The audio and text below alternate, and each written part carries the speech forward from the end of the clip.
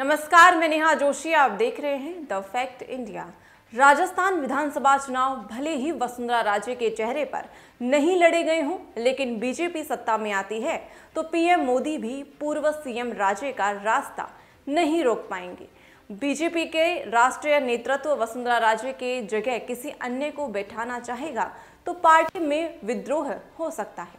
सियासी जानकारों का कहना है कि राजस्थान विधानसभा चुनाव भले ही वसुंधरा राजे के चेहरे पर नहीं लड़े गए हों, लेकिन बीजेपी सत्ता में आती है तो पीएम मोदी भी पूर्व सीएम वसुंधरा राजे का रास्ता नहीं रोक पाएँगे।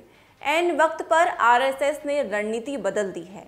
राजनीतिक विश्लेषकों का कहना है कि एक में से पैंसठ बीजेपी प्रत्याशी वसुंधरा राजे के कट्टर समर्थक हैं। बीजेपी आलाकमान के लिए इतनी बड़ी संख्या में विधायकों को अनदेखी करना मुश्किल हो सकता है। सियासी जानकारों का कहना है कि वसुंधरा राजे ने इस बार सिर्फ़ अपने समर्थकों के विधानसभा क्षेत्र में ही प्रचार किया है। बता दें कि तिजारा से बीजेपी प्रत्याशी महंत बाबा बालकनाथ और बहरोड से जसवंत यादव वसुंधरा राजे की पैरवी कर चुके हैं। सूत्रों के अनुसार पार्टी में संभावित विद्रोह को रोकने के लिए आरएसएस ने एन वक्त पर रणनीति बदल दी है। आरएसएस को राजस्थान में वसुंधरा राजे के मुकाबले कोई दमदार चेहरा नहीं मिला है। घुमा फिराकर बात वसुंधरा राजे पर आकर ही समाप्त हो गई।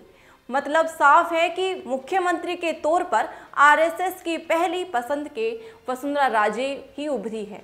सूत्रों के अनुसार आरएसएस की मंशा पहले रेल मंत्री अश्वनी वैष्णव और दिया कुमारी पर दांव खेलने की थी।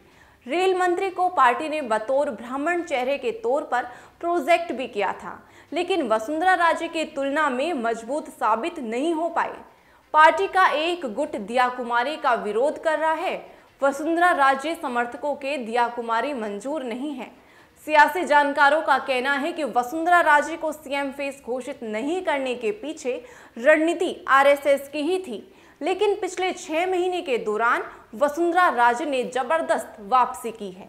सियासी जानकारों का कहना है कि बीजेपी में सत्ता में आती है तो वसुंधरा राजे का सीएम बनना लगभग तय माना जा रहा है।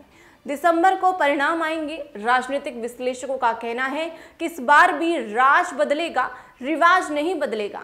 यानी हर पाँच साल बाद सत्ता परिवर्तन का जो ट्रेंड है, वह बरकरार रहने की संभावना है।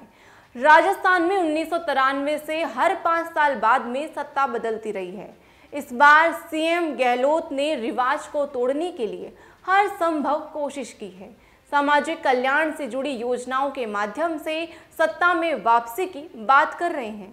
सीएम गहलोत का कहना है कि इस बार उनकी सरकार रिपीट होगी, जबकि बीजेपी का कहना है कि ट्रेंड बरकरार रहेगा। ऐसे ही तमाम जानकारियों के लिए बने रहें द फैक्ट इंडिया के साथ। मैं नेहा जोशी।